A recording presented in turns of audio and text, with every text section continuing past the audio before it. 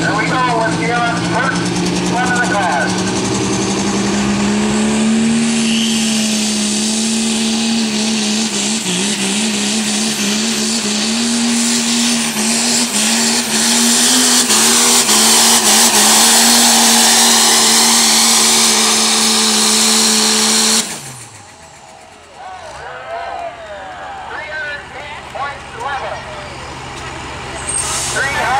point eleven.